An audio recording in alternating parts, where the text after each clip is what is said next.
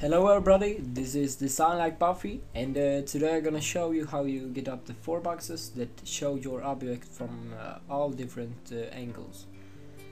Uh, okay, let's start.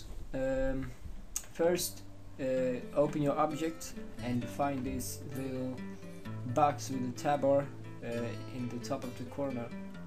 Click on it and you get up the four boxes.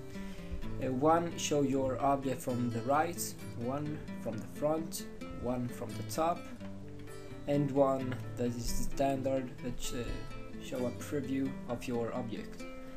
And uh, if you want to uh, show your um, uh, the angle from uh, a bigger view, you click on this little box here to show from the right, bigger from the right, bigger from the front, and bigger from the top.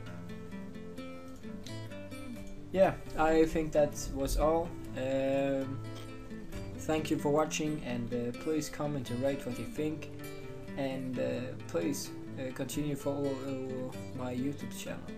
Thanks.